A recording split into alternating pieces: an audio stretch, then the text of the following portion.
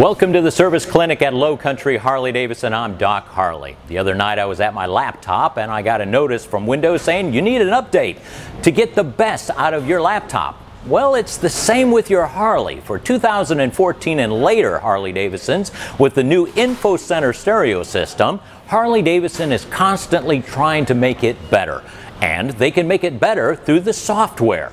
Now, each motorcycle has its version of software and it is, can be updated on a regular basis when they, at the factory, has found something that'll make your stereo system better. What I'd like to talk about today is how can you check your Harley 2014 and later Info Center to see if you have the latest version. Let me show you how. All right, now you've gone out to your garage and you're at your Harley Davidson system and let me give you a suggestion.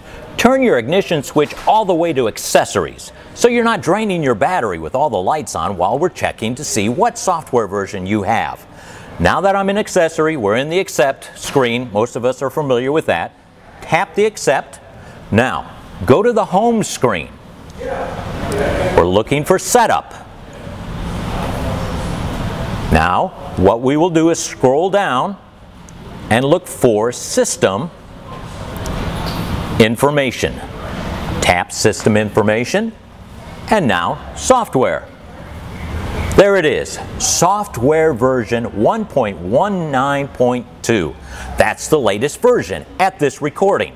This, of course, will change through the years because Harley's trying to make your system work better, more efficient, better quality sound. Now, there is a way that you can go on harleydavidson.com.